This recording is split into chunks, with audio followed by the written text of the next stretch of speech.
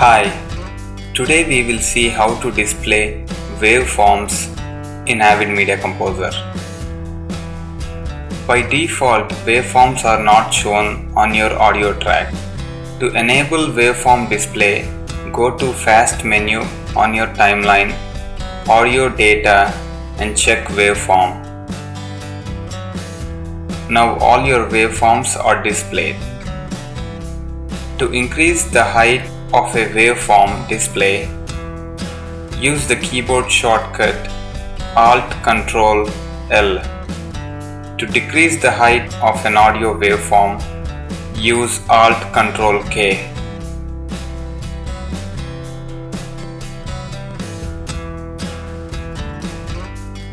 To increase the height of any track, use Ctrl L.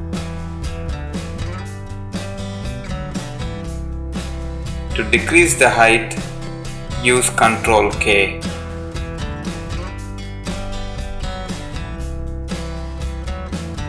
All these adjustments will be applied only on selected tracks.